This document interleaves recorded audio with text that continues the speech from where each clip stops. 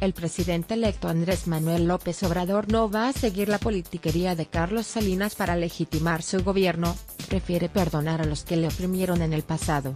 A mí como opositor me rompieron la cabeza, me reprimieron, y los que llevaron a cabo eso, y me ofendieron en muchas ocasiones, bueno nos robaron dos veces la presidencia, a todos esos, los perdono porque yo no estoy lo que me hicieron, estoy pensando hacia adelante, dijo durante el mitin de agradecimiento frente al malecón de Ciudad del Carmen, Campeche.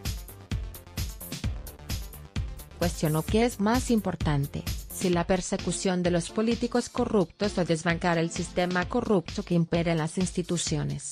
Antes llegaba el nuevo gobierno y hasta encarcelaban a un político del pasado para decir que si iba a haber cambios México aún no arranca, ya es marca el tren Maya yo no necesito legitimarme metiendo a la cárcel a un político.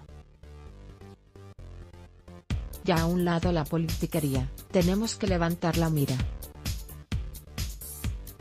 ¿Qué es más importante, meter a la cárcel a un político, andar persigue a políticos corruptos o cambiar al régimen de corrupción y privilegios? Recordó que desde los tiempos de Carlos de Salinas de Gortari, comenzaron los arrestos de presuntos delincuentes para legitimar las políticas neoliberales desde hace 30 años.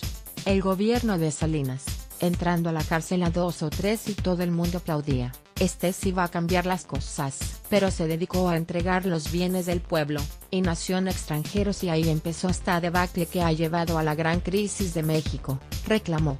Finanzas AMLO propone aumentar salarios en proporción de la inflación.